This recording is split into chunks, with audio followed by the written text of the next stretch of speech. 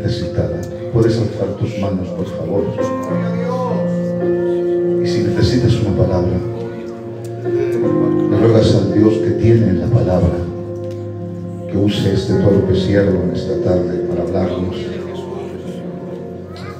Bendigo tu persona.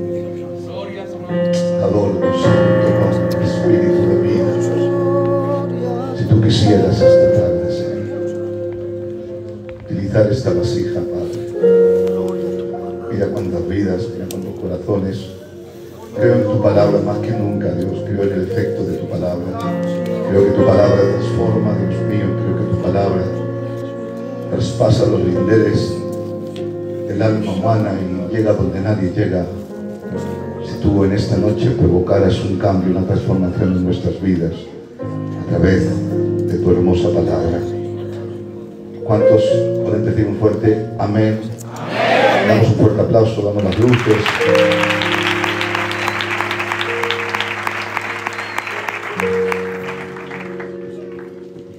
Si puedes apagar este foco de tortura, este de aquí, el del medio, esto de aquí, Dios te bendiga. Bueno, que Dios bendiga a mi hermano Ramón y a mi hermano Noé. Amén. Que Dios los bendiga, ¿no? Amén. Gloria a Dios. Pues la verdad es que si a ustedes les ha costado hacer esta reunión, yo no les contaré los obstáculos que he tenido para no meter más pena. Pero como nos movemos por fe todavía y creemos aún en los propósitos de Dios, de verdad, por eso estoy aquí. Miren, yo estoy aquí fuera de mi hábitat, ahora lo van a entender. Eh, yo no me dedico a esto. A mí me cuesta mucho salir. Es verdad que a veces ha- hay alguna iglesita, una zona que nos quiere invitar y para mí es un privilegio y un honor, pero yo no me dedico a esto. Yo soy pastor. Soy pastor. A mí me cuesta horrores, pues, salir de mi hábitat, del pastoreo. Pero de vez en cuando creemos que la voluntad del Señor, pues, aceptamos eh, esa invitación para hacer bien al pueblo. Y ese es el motivo de que estoy aquí. Así que les va a predicar, no un predicador elocuente, sino un siervo de Dios con corazón de pastor. Amén. Es- voy a predicar algo que de esta manera no le he predicado, está to- totalmente nuevo. Eso causa en mí alguna dificultad, algún error, pero me da igual. A mi edad y con los años que llevo, no tengo de cuidarme tanto mi léxico o mi forma de or- de oratoria, sino el efecto que haga la palabra. Amén. Y con esa intención voy a predicarles algo. Voy a hablarles de, de que antes de que venga la tragedia a una vida, un pueblo, un hogar, una iglesia, hay síntomas que evidencian que vamos por mal camino. Y creo que el mejor de los médicos, más allá de aquel que te puede curar la enfermedad, es aquel que te la previene. Pues hoy vamos a usar la palabra de Dios como esa medicina que previene de las tragedias, de las vidas que empiezan bien y acaban mal, de las iglesias que parece que lo van a alcanzar todo y empiezan a apagarse y a disminuir, de los pueblos que empiezan bien y acaban cayendo de la gracia. Por eso en esta tarde quiero predicarles con el corazón y el alma una palabra de advertencia. Sé que es difícil con este micro, este micro y la megafonía no nos deja alzar la voz. Si yo alzo la voz se apaga. Y no saben ustedes el mal que hace en la garganta cuando un predicador alza la voz y se le apaga la garganta. Así que yo como estoy acostumbrado a tener este ambiente, esta clase de gente que oye la palabra, ustedes coman, mastiquen, si algo les hace bien de vez en cuando y me dicen amén, ya harán de verdad feliz. Voy a predicarles la palabra. El pasaje que vamos a utilizar para hablar las evidencias que evocan a, a una tragedia y cómo evitarlas, se encuentra en 1 de Samuel capítulo 3, un pasaje famosísimo que nos va a ilustrar para poder predicarles esta verdad bíblica. Dice así la palabra del Señor. Y el joven Samuel ministraba a Jehová en presencia de él. Y la palabra de Jehová escaseaba en aquellos días y no había visión con frecuencia. Y aconteció un día que estando Eli acostado en su aposento, cuando sus ojos comenzaban a oscurecerse, de modo que ya no podía ver, Samuel estaba durmiendo en el templo de Jehová, donde estaba el arca de Dios.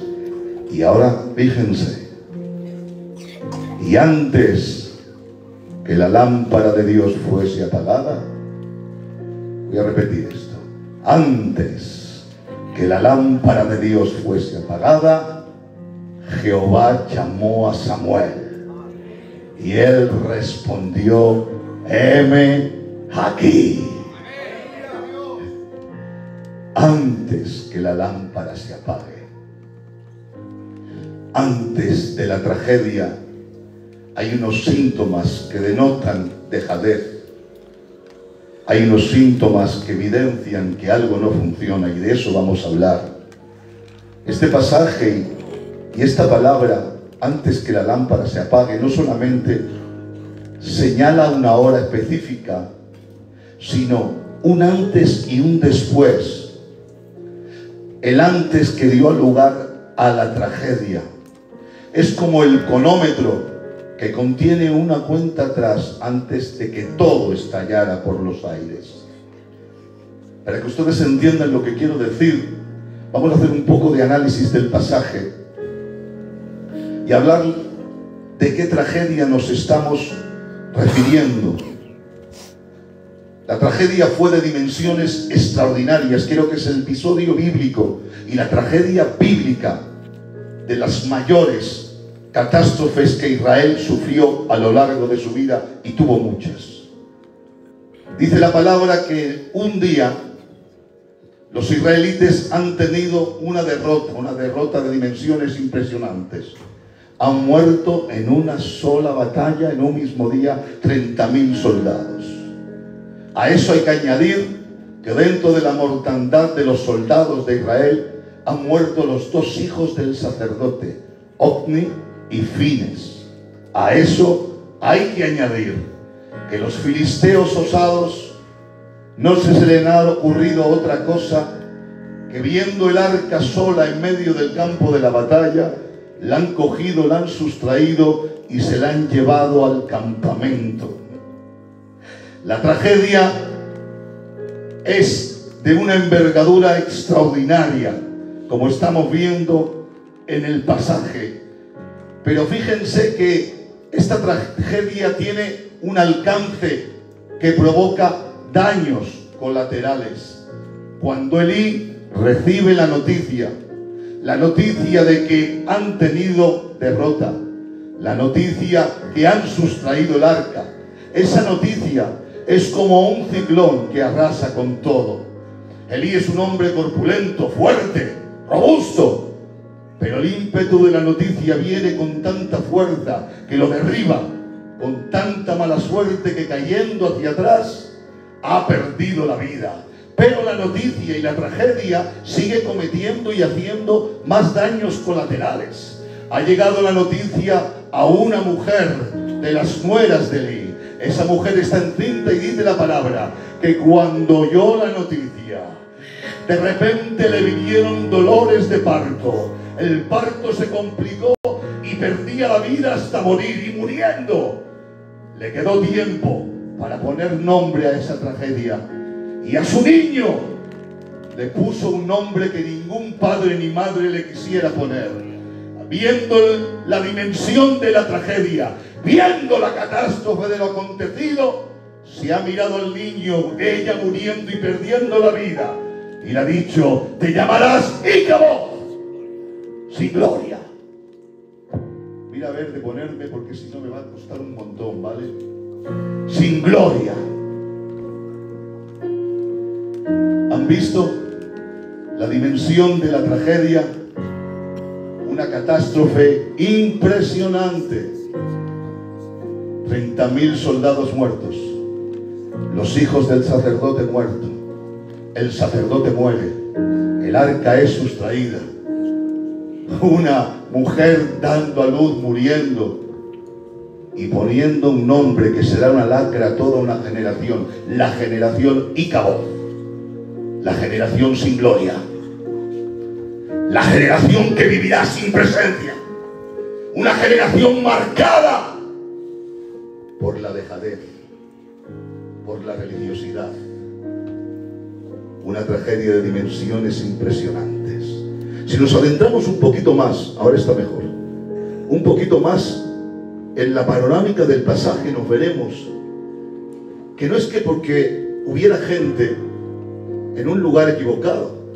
Porque a veces pensamos que las tragedias son consecuencias de un liderazgo corrupto o un liderazgo que no está en su lugar. Pero esto no es lo que dice la Biblia, ya que habla del liderazgo y habla de, Elí. Y en el capítulo 2 dice la palabra, dice, yo te escogí por sacerdote. Tienes llamado, Elí. Yo te escogí por sacerdote y te di multitud de promesas, entre muchas de ellas, es que te di a ti, a la casa de tu padre y a tus descendientes, el privilegio de ser mi sacerdote para siempre.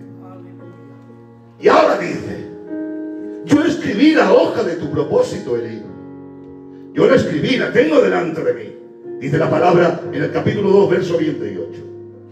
Y verso 30, dice, yo había dicho acerca de tu casa, que tú y los tuyos ministraríais mi santuario por siempre, que serías un hombre de honra. Yo había dicho esto, lo tengo escrito en la hoja de mi propósito para contigo. Más viendo tu conducta, más viendo cómo has consentido el pecado en tus hijos, sin poner remedio ni freno lo que yo había decidido, lo que yo había guionizado en la historia de mi propósito para ti, lo rompo, te lo quito. Lo que pensaba darte se lo daré a otro. Y ahora escribo otra hoja de propósito y desgracia. A consecuencia de tu conducta, tenías de ser honorable pues serás una lacra para toda tu familia. No habrá anciano en tu casa. Todo hombre morirá en la edad viril. Vas a ser una lacra de generación en generación. Toda tu familia te recordará. Y dirá, ¿por qué Eli se comportó de esta manera? Tenías de ser los ministros del santuario pero a causa de tu conducta, a causa de permitir el pecado dentro de tu casa, los hijos de tus hijos que tenían de disfrutar de las ofrendas del santuario, mendigarán a las puertas del sacerdote algún ministerio para comer pan. Esta es la nueva hoja de ruta, porque preferiste honrar antes a tus hijos que a mí. Porque tu prioridad fueron ellos antes que yo. Terrible. Y esto te será por señal. En un mismo día tus hijos morirán. Es grave, ¿no? Dígame algo fuerte, ¿no? Que Dios tenga una historia para ti de gloria, de bendición y que por tu conducta Dios tenga de romperla y escribir otra de tragedia y de lacra. Es grave, ¿no? Pues esto no es lo más grave todavía. Más grave el recibimiento de la advertencia, porque aún no es una sentencia firme. Aún no es una sentencia firme. La sentencia firme viene de la boca de Samuel. Pero ahora es un profeta que le está advirtiendo y le advierte. Y lo que más me asombra, ¿saben qué es? La pasividad de cómo recibe la advertencia del juicio. No lo entiendo. Que Dios te diga, mato a tus hijos. Te quito el ministerio. De lo que tenía para ti se lo doy para otro. Si me lo hace a mí.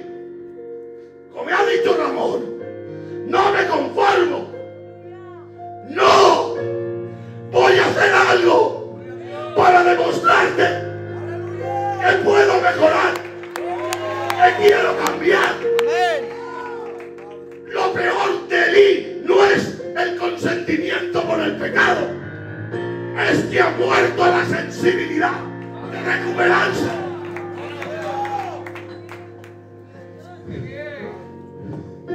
No sabes quién es Dios, Eli. Que no sabes quién es. Que no sabes su historia. Él es soberano. Y lo que determina lo hace. Pero Él es Padre.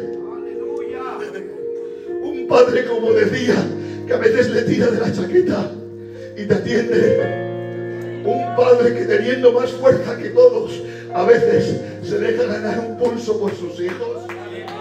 Un Padre, sino que se lo digan a Ezequías. Ezequías recibe la misma sentencia de advertencia. Ha entrado Isaías al palacio, se lo ha quedado mirando y le ha dicho, rey Ezequías, has hecho lo malo delante de Dios, ordena tu casa que te mueres. Y ahora el rey le pone la corona, la tira, quita el manto real, no alterca contra la palabra del profeta, ha vuelto la espalda, se ha puesto contra la pared y ha dicho, Señor, acuérdate que en otro tiempo te fui fiel. No puedo apelar en el presente, porque en el presente soy una catástrofe. Pero en otro tiempo te fui fiel. Si me das una oportunidad, te demuestro que puedo cambiar y la palabra. Y antes de que el profeta saliera, Dios le ha dicho a Isaías, vuélvete y dile al príncipe de mi pueblo. Dile que me acuerdo. Y dile que le restauro. Y dile que no morirá. Conducta y tu actitud pueden revertir el juicio y la disciplina de Dios para tu vida.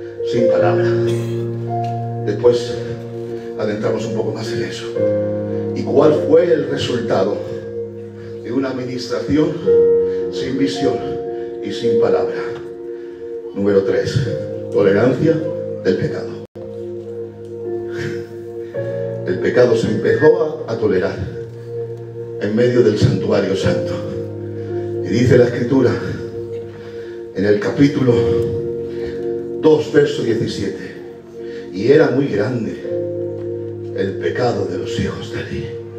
Era muy grande. Noten, ausencia de visión, ausencia de palabra, igual a tolerancia por el pecado. Las tragedias no vienen de repente, de la noche a la mañana. La decadencia es un proceso que oscurece la visión, que hace la, que la palabra de Dios empieza a ser menospreciada, dando lugar a la tolerancia por el pecado. Me dejan así de pasada decirte, ¿han visto gente que se permite cosas ahora que antes no? Hay alguno que ríe. Es que somos más modernos, es que menos mal somos... No, no hay visión y escasea la palabra de Dios en tu vida. La santidad es extrema. La santidad es extrema. La santidad es peligrosa para el religioso libertino. La santidad no tiene límite. Aleluya. ¿Saben? Me encanta ministrar a la juventud. Porque la juventud piensa que tiene la lámpara maravillosa de Alalino y han descubierto el cáliz de la felicidad. Porque ahora pueden vivir como quieran. Las consecuencias de la tolerancia en una vida es la evidencia de falta de visión y menosprecio a la palabra de Dios. No lo hables libertad religiosa. Habla de carnalidad, del liberalismo. Porque aún dice mi Biblia que sin santidad, sin santidad, y la santidad no es orar Padre Nuestros, la santidad es apartarse del pecado, de lo que huele a pecado. Si esto te huele a pecado, apártate. La ruina nos está buscando. Santidad.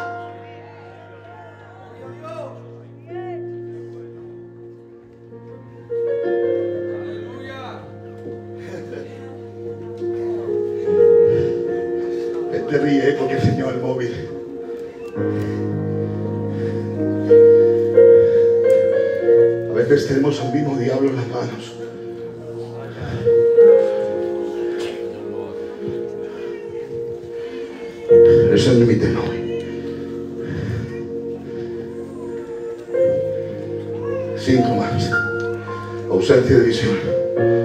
Ausencia de palabra. Dio lugar a la tolerancia por el pecado. ¿Y esto qué provocó? Que la gente se riera del santuario. Dice, y los hombres menospreciaban las ofrendas. Claro, viendo el comportamiento, claro, si yo canto aquí y bailo allí,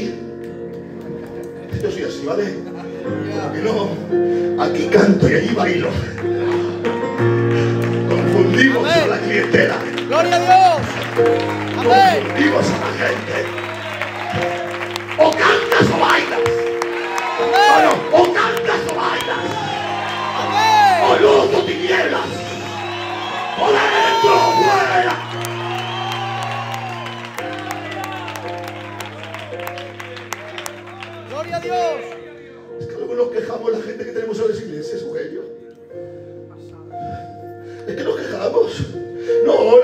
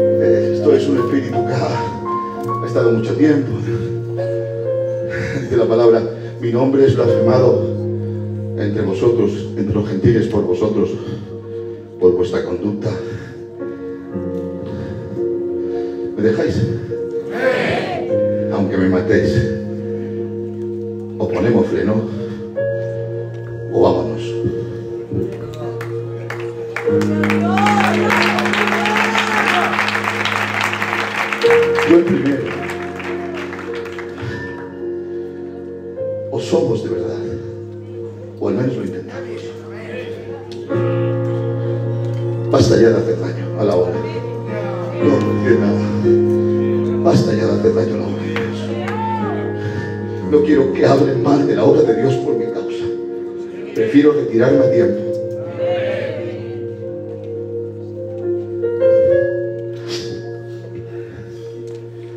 Tolerancia que dio lugar al menosprecio de las cosas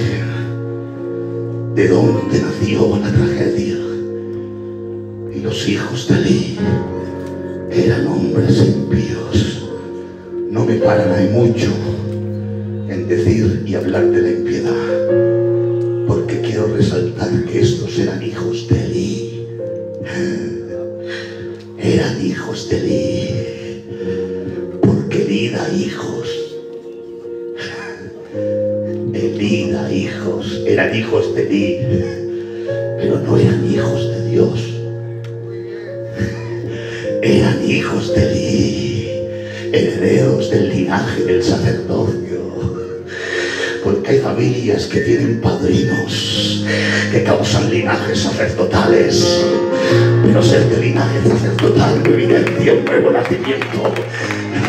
Hagan lo que quieran, mátenme o tírenme al río Manzanares, pero voy a predicar la palabra de Dios. Eran hijos de Eli, hijos de un sistema que también engendra hijos.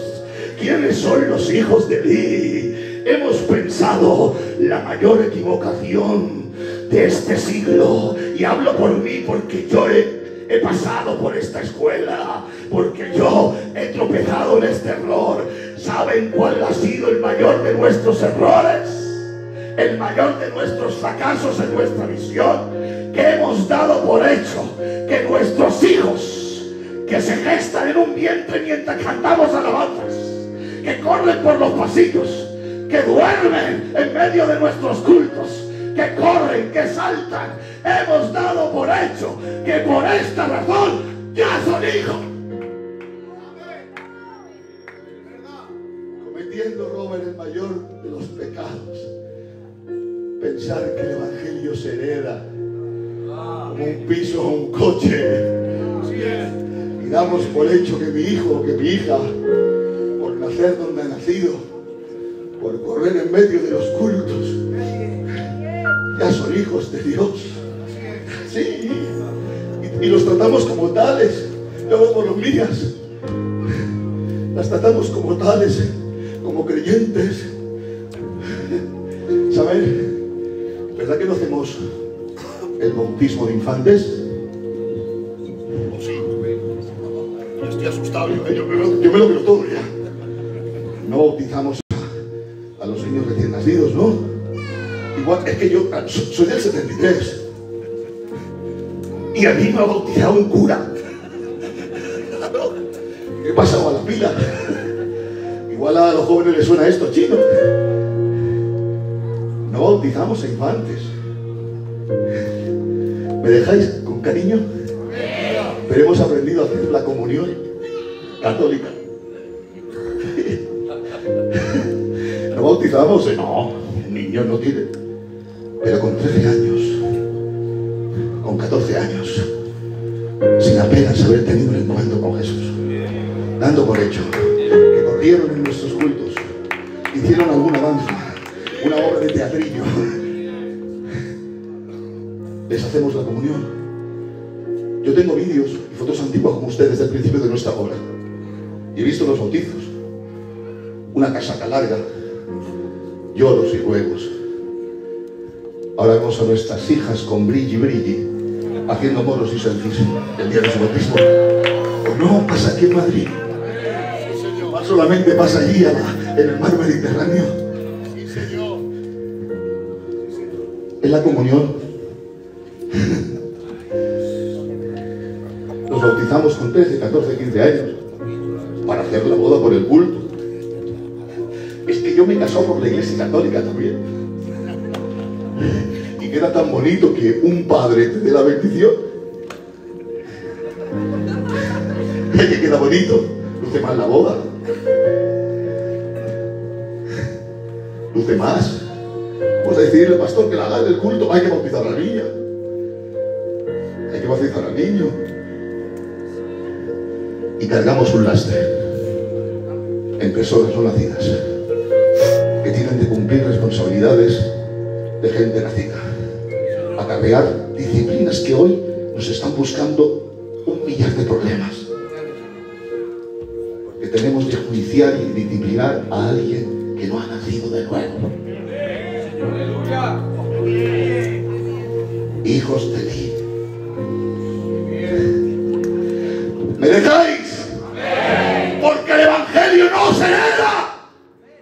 Esto va de encuentro personal. Cría tus hijos, no para que se casen por un culto, sino para que se encuentren con Dios.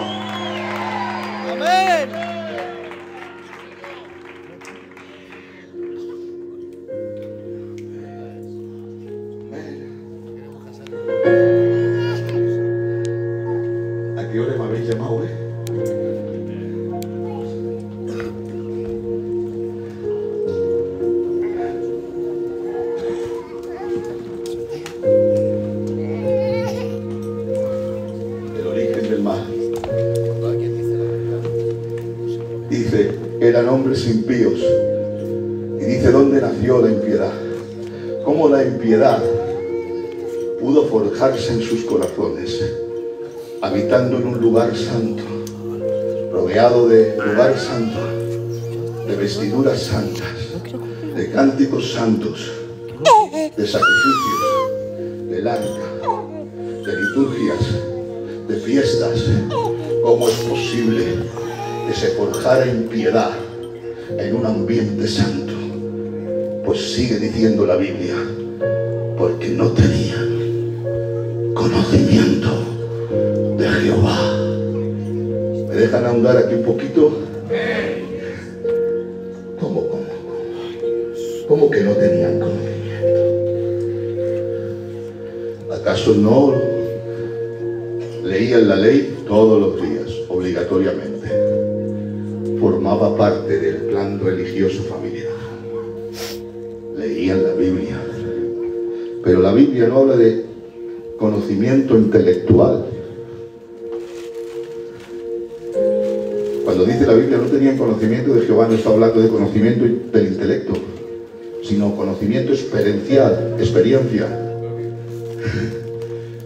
Para que lo entiendan, es como el que estudia mecánica y nunca arregla un coche. Sabe, pero no tiene experiencia. Nunca ha manchado sus manos de grasa. Te dice dónde, cómo cambiar la bombilla, pero nunca cambió una bombilla. A esto les pasaba lo mismo. Sabían, pero no habían experimentado. Conocer es igual a relación. No tenían conocimiento. Tenían solamente el conocimiento intelectual, ¿saben? El daño que hace la falta de conocimiento experiencial en medio del liderazgo, que lo hay.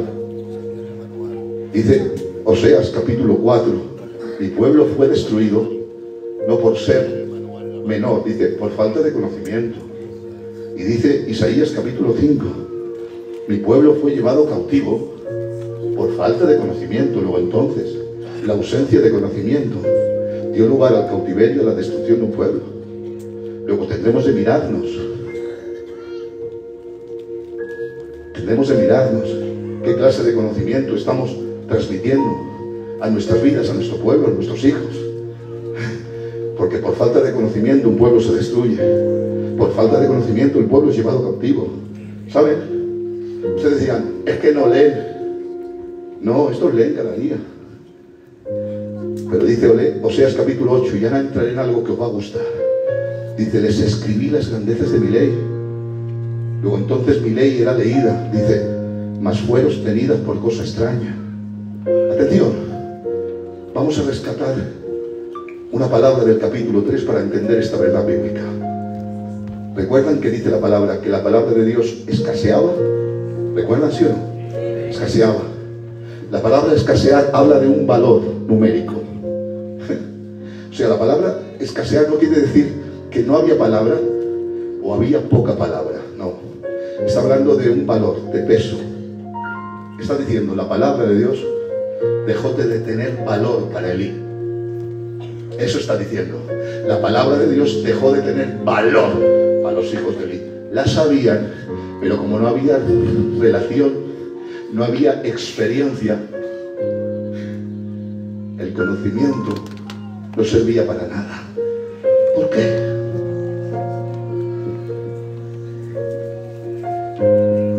Porque hay una sola manera de tener conocimiento pleno en las cosas de Dios cuando la palabra nos insta y nos dice que es la falta de conocimiento, no habla de el intelecto, no habla de saber Biblia, habla de relación personal que genera fruto. No sé si entienden. Miren, la ausencia de relación dio lugar al menosprecio de lo escrito. Gente no es por falta de leer, es por falta de comunión. No es la falta de lectura, señores. No es la falta del saber, es la falta de intimidad. Eso es la palabra conocimiento, conocimiento y tres vertientes. Ginosco y coinomía. Y las tres hablan de experiencia, de relación, de intimidad, de relación con Dios que engendra vida. Dios no engendra a través del intelecto. Dios engendra a través de la experiencia personal de una vida que ama estar en su presencia.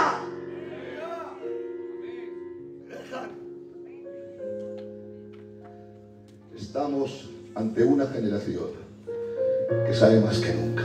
¿Están conmigo, sí o no? Amén. Y yo estoy orgulloso de esto. Estoy orgulloso que en nuestra misión haya más conocimiento que nunca. Yo oigo a cualquier joven de verdad y me asusto del conocimiento, de cómo te exponen una doctrina. Saben todas las escuelas, yo estoy asustado. Hablan de las escuelas teológicas como si fueran nacidos en el 1600. Parecen compadres de Juan Calvino.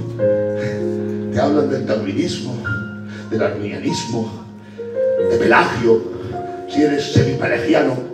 Me dejan un poco una nota. Un día yo estaba ministrando una cosa y dije algo. Y un joven me dijo, esto es semipelagiano. Y me ha insultado. Háblamelo. Digo, ¿qué dices, muchacho? Que esto es de Pelagio. Digo, ¿Pelagio que era? Un cantante de ópera. Pero no es mi ignorancia. Yo soy de los que aprendió a leer con la Biblia. Yo no filtro mi doctrina por la escuela. Yo filtro la doctrina por la palabra. Nuestra misión ha tenido un antídoto ante las falsas doctrinas. ¿Saben qué ha sido? Que los hombres que no tenían mucho conocimiento dieron su vida a este libro. A este libro. Este era el libro principal. Esta es la escuela teológica que nunca te engaña. Y ahora todas las doctrinas las pinto por el libro.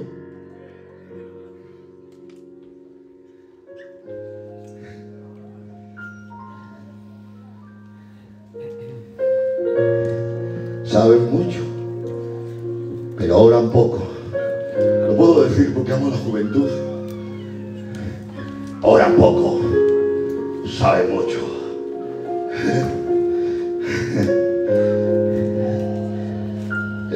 Intelectual de nuestros días es elevadísimo.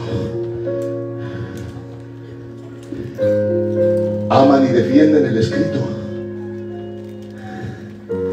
pero ignoran quién es el escritor.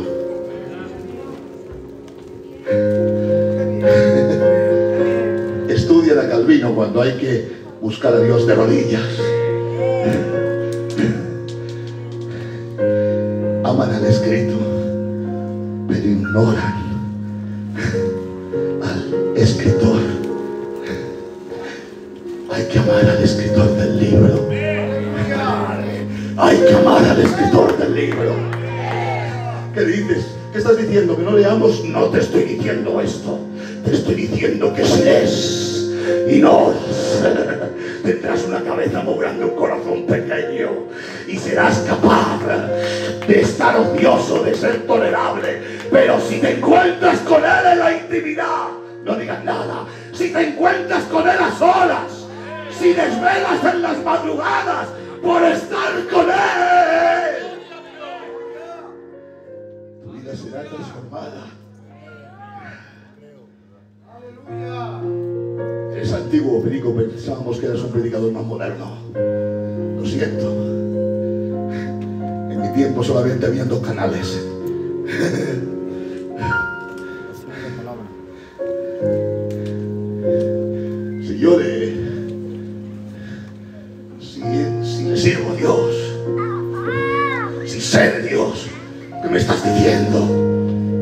Mi- mis esquemas. Si sé defender una doctrina, gloria a Dios por ello. Pero sabes arrepentirte delante de Dios. ¿Sabes humillar tu corazón con lloros, súplicas y juegos? ¿Sabes lo que es llorar por el pecado?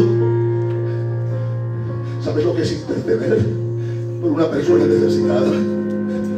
¿Te has quedado alguna noche sin dormir sin comer, sin leer, solamente buscando el rostro de Dios? Que yo hago, que tengo mucha actividad. Somos jóvenes activos, vamos a los pobres. Gloria a Dios por eso. Yo también, yo fundé una misión llamada Sembradores de Esperanza cuando fue de pastor en España, que hacíamos todo eso. Gloria a Dios.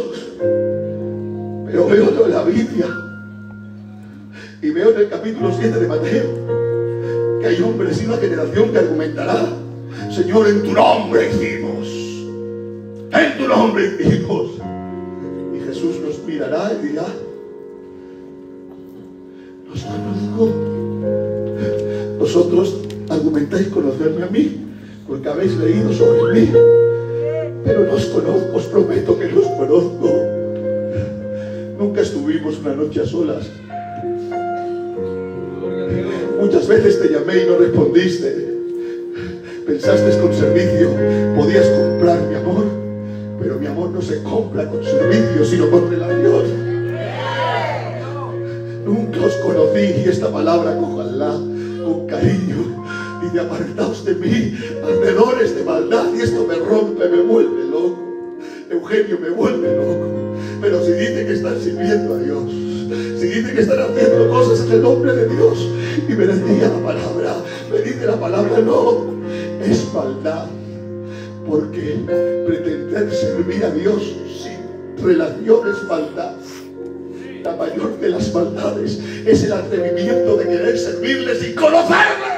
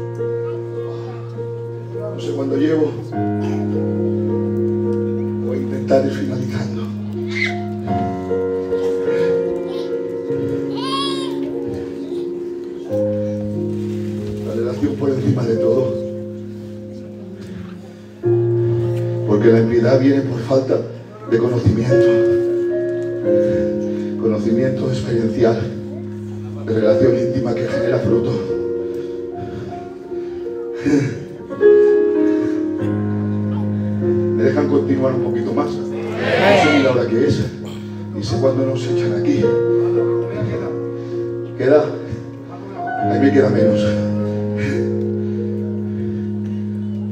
Escribe Dios a través de Juan. Escribe a la iglesia de Éfeso, capítulo 2. Y dice, tengo contra ti. Y cuando dice Dios tengo contra ti, ponte a temblar. Tengo algo contra ti. Y cuando vemos esta tesitura de Dios hablándonos, ¿qué pensamos inmediatamente? Pecado. ¿Qué puede tener Dios contra nosotros? Pecado. Y ahora veo en mi Biblia que la acusación de Dios contra Éfeso no es por pecado. No hay desorden.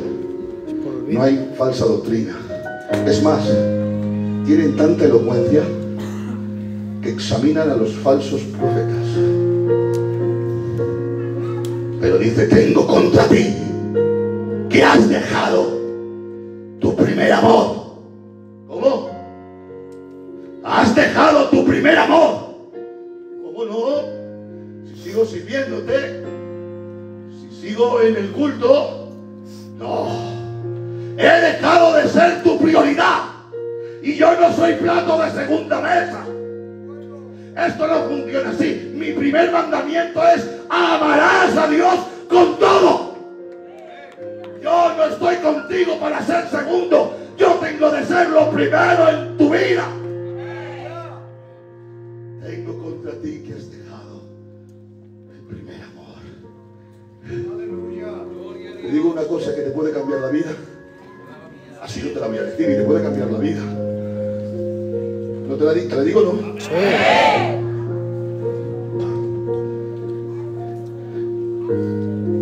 ¿Te gusta buscar a Dios? Amén. ¿Te sientes bien cuando tú buscas a Dios? Ay, madre, qué miedo. Amén. ¿Te sientes bien?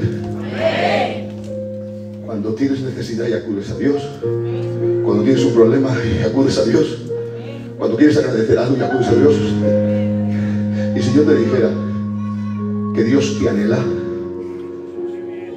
que Dios es el que quiere estar contigo por encima de tu deseo, que dices, que te lo digo yo, que Dios desea estar contigo.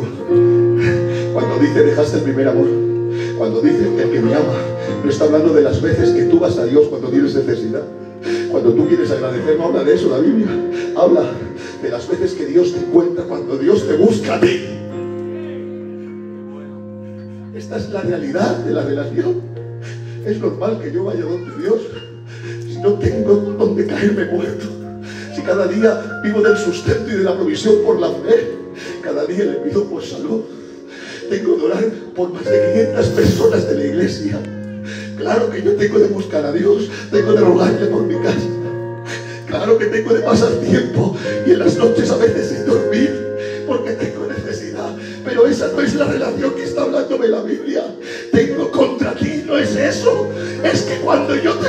ridículo te encuentro? Es cuando yo hablo y te pico la puerta a deshoras, que soy un romántico apasionado, y te pico la madrugada y te digo, ábreme, amada mía. Has dejado de responder.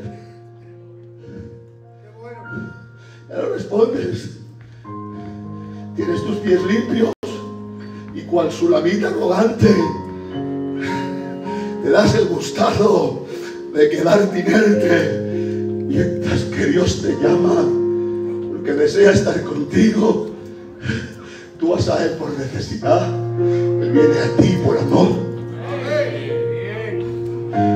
porque quiere estar contigo, porque ese es el, el eje- el objetivo del plan de salvación, restablecer la comunión perdida, estar con la criatura.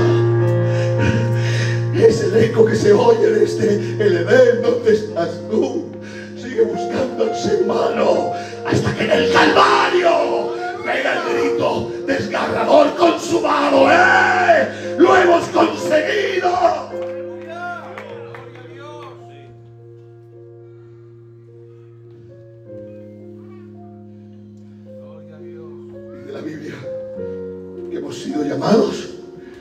A ser famosos. ¿Eh? ¿No? Pues parece, ¿eh? Que nos den likes. A levantar seguidores. ¿No? No, ¿verdad? Pues parece.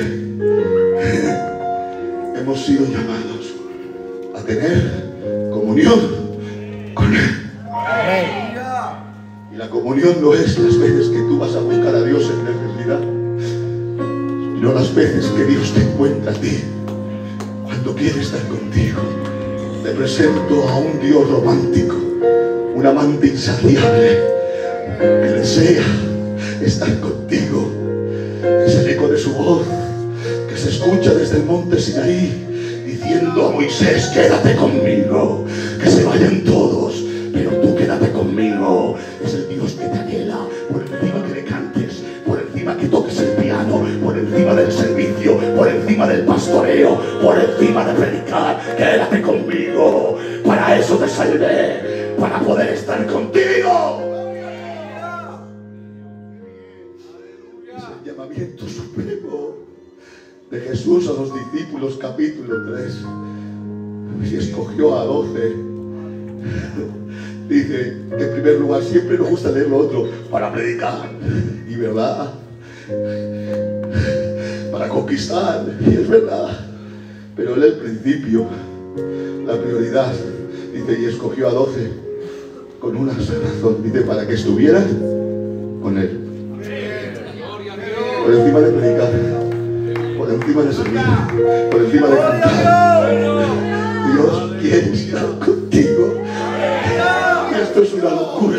Yo entiendo que quiera estar con Él, pero no llegaré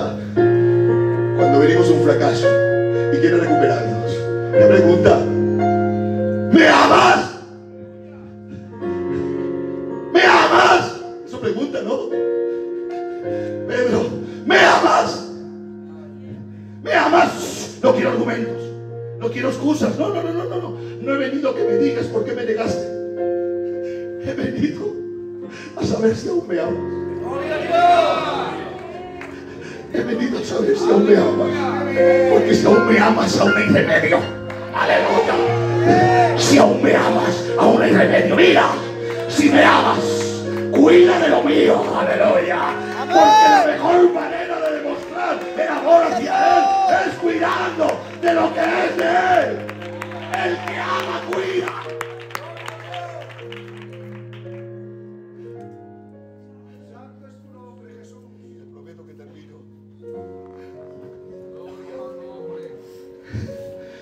Puedes hablar algo, calor.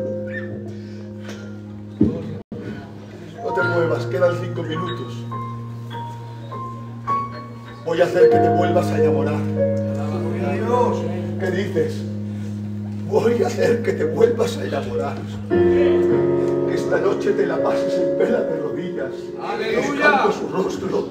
Antes de que tu lámpara se apague, antes de que el contador de la tragedia venga a tu vida, voy a diagnosticarte una enfermedad.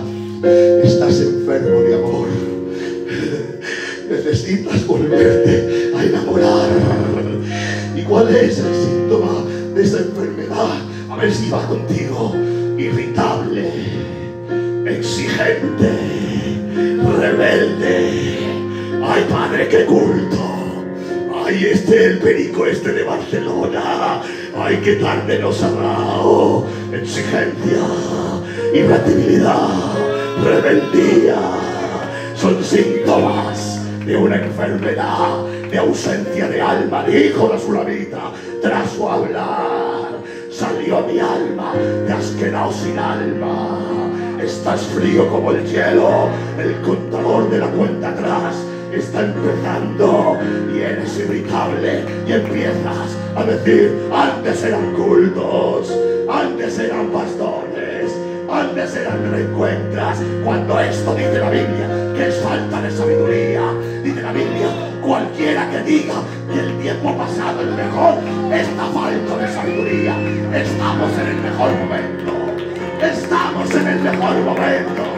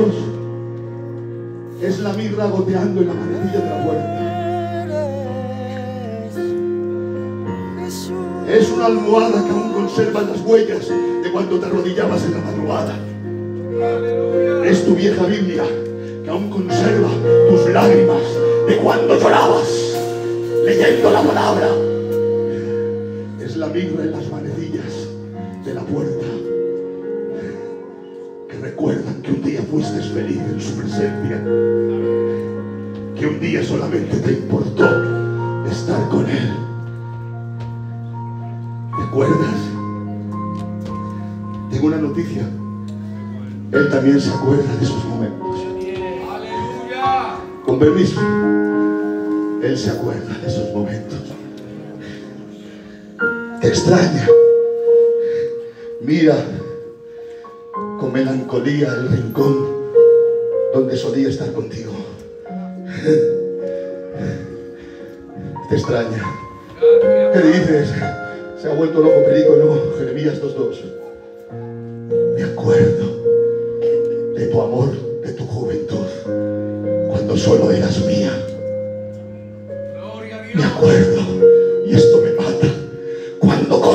Detrás de mí. Cuando corrías detrás de mí, ¿cómo? Sí. Antes solamente era yo tu prioridad. ¿Y dónde te seguía? Dice, en el desierto. Aleluya. Ahora en el bienestar no le buscas, pero hubo un tiempo de relación, de romanticismo, de amor pasional, que en el desierto, en el día de tu fuentación, en el día que no tenías dinero en el bolsillo, le seguía.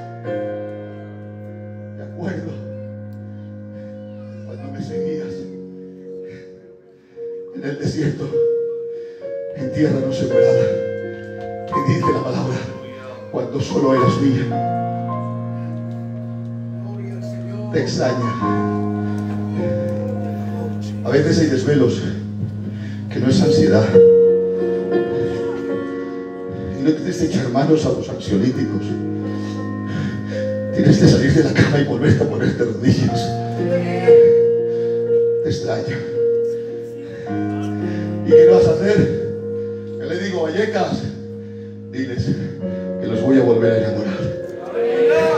¿Qué? Dios me ha traído con obstáculos, con problemas. día de estar en Barcelona, viniendo para aquí han fallecido dos miembros de la iglesia. Estoy aquí y tengo el corazón allí. Dos familias que están viviendo el luto ahora mismo. Y yo estoy aquí predicando esta palabra contigo. Porque Dios me ha dicho que te diga, te voy a volver a enamorar. Te voy a volver a enamorar. ¿Y cómo lo harás? Y dice la Biblia, dile que te voy a llevar al desierto. Dice el libro de Oseas. Te llevaré al desierto. ¿Por qué al desierto? Porque te voy a enseñar lo que eres sin mí. Te llevaré al desierto. Pero no para destruirte, sino para que te vuelvas a enamorar de mí.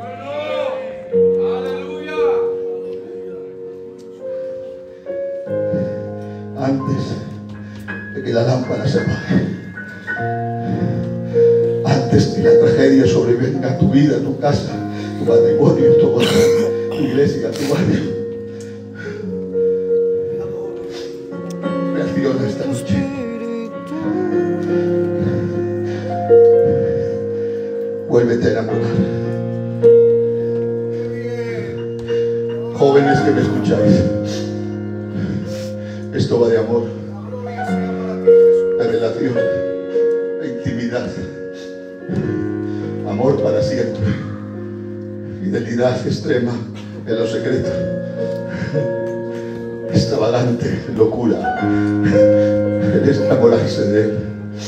Que sea tu prioridad. Es la locura de Jesús diciendo, el que no ama padre y madre, el que no me ama más que padre y camino, no puede seguirme. No habla de lazo sanguíneo, habla de prioridad de vida. ¿Quieres que le vayan bien a tus hijos?